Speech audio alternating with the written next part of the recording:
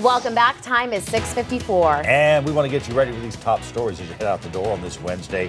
70-year-old girl dead after an ATV crash last night in Marshall County. The Marshall County Coroner's Office says it happened on Brock Road in Boaz. Uh, one adult also taken to the hospital. Right now, we are trying to learn more about the cause of that crash and also that adult's condition.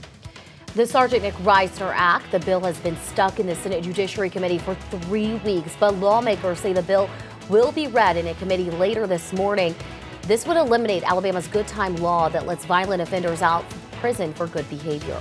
Advisor to the FDA will discuss guidelines for COVID booster shots. They will debate variant specific boosters and whether to expand booster eligibility to people younger than 50.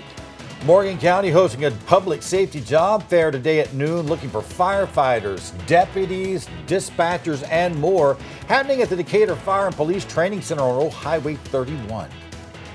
And Jackson County, parts of County Road 75 will be closed for cross-drain work. This is off Highway 72 going towards Bridgeport. Work is expected to last about a week.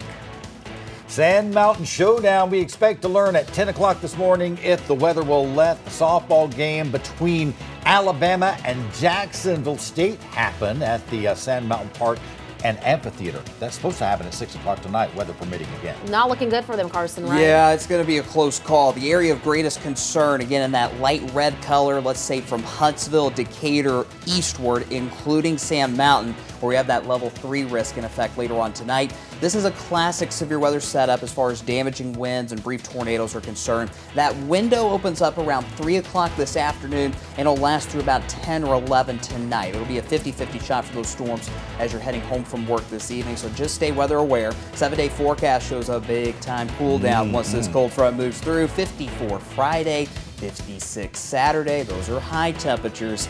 And yes, guys, still looking pretty likely we will have a patchy frost Saturday and Sunday morning, but obviously we got to get through today. We'll have constant updates for you on air and online at WAAYTV.com all day. Mm. A lot to look out for today. A lot to look out for. Aware. It's spring yeah. in Alabama. It is spring in Alabama. Carson, thank you so much, and thanks for joining us this morning. For 24-7 coverage you can count on at Yeah, Good Morning America is up next. Carson and I back in 30 minutes with local news and weather update for you.